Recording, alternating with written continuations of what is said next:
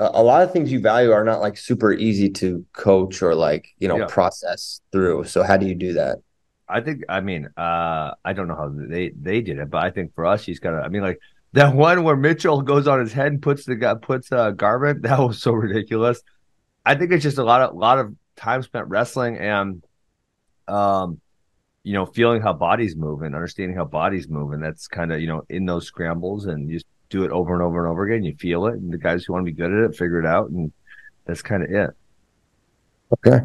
yeah He's ne- he never gets into the details. Well, I could. Re- I mean, I, He could, acts I could go on. A, I actually just went on this soapbox on uh, my Mental Monday last week, but um, uh, you could go watch that. It's on our AWA Facebook page. But I think I think a lot of um, especially at a higher level, right? Because they have Mitchell Mesenbrink at a higher level, and these Rainey brothers, they're they're wrestling at a really high level, even though they're not very old yet.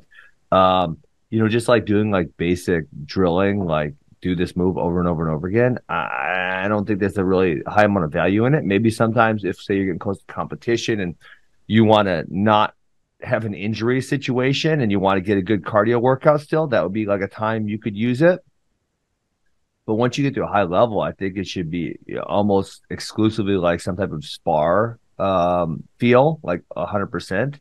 Um, and so then you're putting yourself in these positions and you're just feeling them over and over and over again. And if you have a good partner, right, they're giving you a good feel back and you're trying to feel where you can exploit them, you know, in a weakness in their defense or the, the way they're they're pressuring. Um, and then you just kind of pick it up and you react. So I, I mean I think that's a big one is a ton of sparring. I don't know the how the Rain brothers train, but um judging by the way that the results they're getting, I'd have to guess has something something in there with that.